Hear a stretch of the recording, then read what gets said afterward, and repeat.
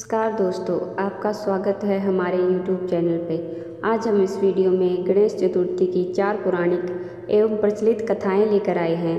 व्रत में सुनने से दूर होंगे सारे संकट, मिलेगा अपार सुख। ओम गणेशाय नमः। संकटी गणेश चतुर्थी व्रत करने से घर परिवार में आ रही विपदा दूर होती है। कई दिनों से रुके मांगलिक कार्य संपन्न होते हैं, तथा भगवान श्री गणेश असीम सुखों की प्राप्ति कराते हैं। माह की किसी भी चतुर्थी के दिन भगवान श्री गणेश की पूजा के दौरान संकटी गणेश चतुर्थी व्रत की कथा सुनना, पढ़ना ज़रूरी होता है। इससे संबंधित चार प्रचलित कथाएँ हम इस वीडियो में लेकर आए। पौराणिक एवं प्रचलित श्री गणेश कथा के अनुसार एक देवी, एक देवता कई विपदाओं में गिरे थे। तब वह मदद मांगने भगवान शिव के पास आए।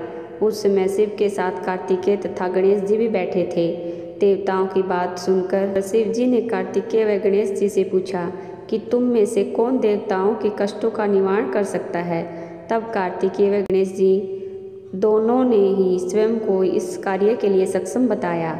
इस पर भगवान शिव ने दोनों की परीक्षा लेते हुए कहा कि तुम दोनों में से जो सबसे पहले पृथ्वी की परिक्रमा करके आएगा, वही देवताओं की मदद करने जाएगा।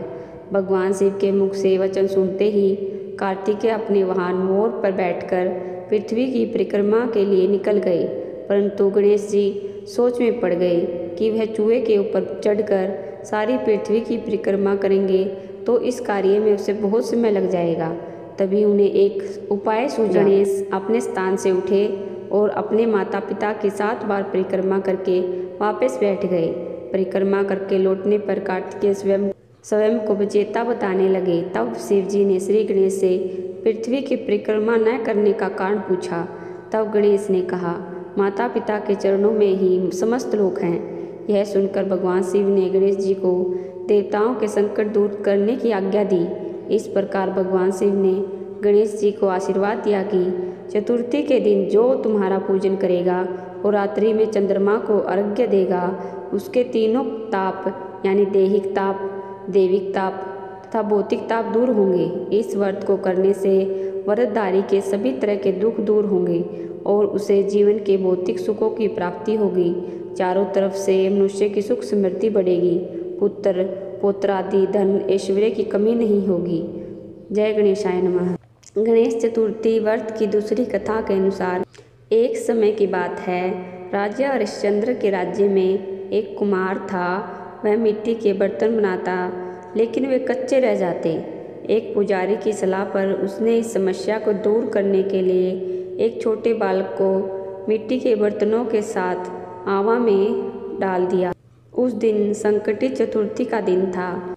उस बच्चे की माँ अपने बेटे के लिए परेशान थी। उसने गणेश जी से बेटे की कुशलता की प्रार्थना की। दूसरे दिन जब कुम्हार ने सुबह उठकर देखा तो आवा में उसके बर्तन तो पक गए थे, लेकिन बच्चे का बाल बाका भी नहीं हुआ था। वह डर गया और राजा के दरबार में जाकर सारी घटना बताई। इसके बाद राजा ने उस बच्चे को और उसकी माँ को बुलाया और तो माँ ने सभी तरह के विधन को दूर करने वाली संकटी चतुर्थी का वर्णन किया। इस घटना के बाद से महिलाएँ संतान और परिवार के सौभाग्य के लिए संकट चौथ का व्रत करने लगी। तीसरी कथा, एक समय की बात है। कि विष्णु भगवान का विवाह लक्ष्मी जी के साथ निश्चित हो गया। विवाह की तैयारी होने लगी। सभी देवताओं को निमंत्रण भेजे गए, परंतु गणेश जी को निमंत्रण नहीं दिया गया। कारण जो भी रहा हो, अब भगवान विष्णु की बारात जाने का समय आ गया। सभी देवता अपनी पत्नियों के साथ विवाह समारोह में आए। उन सबने देखा कि गणेश जी कहीं दिखाई नहीं दे रहे। तब वे आपस में चर्चा करने लगे कि क्या गणेश जी को नहीं न्योता दिया? या स्वयं गणेश जी ही नहीं आए। सभी को इस बात पर आश्चर्य होने लगा। तभी सबने विचार किया कि विष्णु भगवान से ही इसका कारण पूछा जाए। विष्णु भगवान से पूछने पर उन्होंने कहा कि हमने गणेश जी के पिता भोलेनाथ महादेव को न्योता भेजा है। यदि गणेश जी अपने पिता के साथ आना चाहते हैं तो आ जाते। अलग से न्योता देने की कोई आवश्यकता भी नहीं थी। दूसरी बात यह है कि उनको सवा मन मूंग सवा मन चावल सवा मन घी और सवा मन लड्डू का भोजन दिन भर में चाहिए। यदि गणेश जी नहीं आएँगे तो कोई बात नहीं। दूसरे के घर जाकर इतना सारा खाना पीना अच्छा भी नहीं लगता। इतनी वार्ता कर ही रहे थे कि किसी एक ने सुझाव दिया, यदि गणेश जी आ भी जाएँ तो उनको उनको द्वारपाल बनाकर बैठा देंगे कि आप घर का ध्यान रखना। आप तो चूहे पर बैठकर धीरे धीरे चलोगे तो बारात से बहुत पीछे रह जाओगे। यह सुझाव भी सबको पसंद आ गया तो विष्णु भगवान ने भी अपनी सहमति दे दी। होना क्या था कि इतने में गणेश जी वहाँ आ गए। उन्होंने समझा बुझाकर घर की रखवाली करने बैठा दिया। बारात चल दी। तब नारद जी ने देखा कि गणेश जी तो दरवाजे पर ही बैठे हुए हैं। तो वे गणेश जी के पास गए और रुकने का कारण पूछा। गणेश जी कहने लगे कि विष्णु भगवान ने मेरा बहुत अपमान किया है। नारद जी ने कहा कि आप अपनी मूसक सेना को आगे भेज दो तो वह रास्ता खोद देगी, जिससे उनके वाहन धरती में धस जाएँगे। तब आपको सम्मानपूर्वक बुलाना पड़ेगा। अब तो गणेश जी ने अपनी मूषक सेना जल्दी से आगे भेज दी और सेना ने ज़मीन पोली कर दी। जब बारात वहाँ से निकली तो रथों के पहिए धरती में धस गए। लाख कोशिशें करे, परंतु पहिए नहीं निकले। सभी ने अपने अपने उपाय किए, परंतु पहिए तो नहीं निकले। बल्कि जगह जगह से टूट गई। किसी की समझ में नहीं आ रहा था कि अब क्या किया जाए। तब तो नारद जी ने कहा, आप लोगों ने गणेश जी का अपमान करके अच्छा नहीं किया। यदि उन्हें मनाकर लाया जाए तो आपका कार्य सिद्ध हो सकता है। और यह संकट टल सकता है। शंकर भगवान ने अपने दूत नंदी को भेजा और वे गणेश जी को लेकर आए। गणेश जी का आदर सम्मान के साथ पूजन किया। तब कहीं रथ के पहिए निकले। अब रथ के पहिए निकल तो गए थे, परंतु वह टूट फूट गए थे तो उन्हें सुधारे कौन? पास के खेत में खाती काम कर रहा था, उसे बुलाया गया। खाती अपना कार्य करने के पहले श्री गणेशाय नमः कहकर गणेश जी की वंदना मन ही मन करने लगा। देखते ही देखते खाती ने सभी पहियों को ठीक कर दिया। तब खाती कहने लगा कि, हे देवताओं, आपने सर्वप्रथम गणेश जी को नहीं मनाया होगा और नहीं उनका पूजन किया होगा। इसलिए तो आपके साथ यह संकट आया। हम तो मूर्ख अज्ञानी हैं, फिर भी पहले गणेश जी की वो पूजते हैं, उनका ध्यान करते हैं। आप लोग तो देवतागण हैं, फिर भी आप गणेश जी को भूल, कैसे भूल गए अब आप लोग भगवान श्री गणेश जी की जय बोलकर जाएँ तो आपके सब काम बन जाएँगे और कोई संकट भी नहीं आएगा। ऐसा कहते हुए बारात वहाँ से चल दी। और विष्णु भगवान का लक्ष्मी जी के साथ विवाह संपन्न करा के सभी सकुशल घर लौट आए। हे गणेश जी महाराज, आपने विष्णु को जैसे कार्य सरियो, ऐसे कार्य सबको सिद्ध करियो। बोलो गजान भगवान की जय हो। हे गणेश महाराज जी, जैसे आपने भगवान विष्णु और सभी देवताओं के काम सिद्ध किए, सभी संकटों को दूर किया। ऐसे ही आप सबके संकटों को दूर करना, सबके काम सिद्ध करना। बोलो गजानन भगवान की जय हो। चौथी व्रत कथा। श्री गणेश चतुर्थी व्रत की पुरानी कथा के अनुसार एक बार भगवान शिव तथा माता पार्वती नर्मदा नदी के किनारे बैठे थे। वहाँ माता पार्वती ने भगवान शिव से समय व्यतीत करने के लिए चौपड़ खेलने को कहा।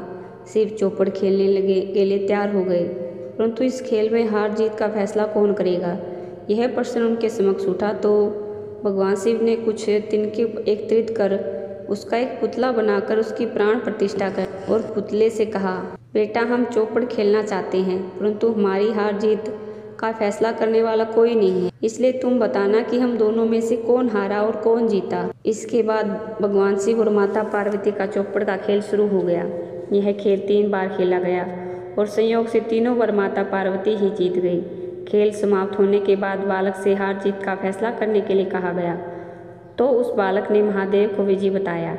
यह सुनकर माता पार्वती क्रोधित हो गई और क्रोध में उन्होंने बालक को लंगड़ा होने होने कीचड़ में पड़े रहने का श्राप दे दिया। बालक ने माता पार्वती से माफ़ी मांगी और कहा, यह मुझसे अज्ञानवश हुआ है।